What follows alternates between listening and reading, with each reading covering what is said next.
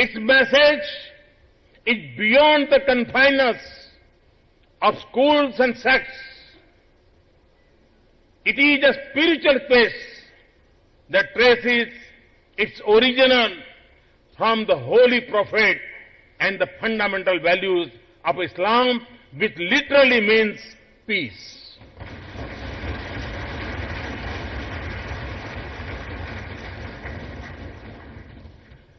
And it reminds us that when we think of the 99 names of Allah,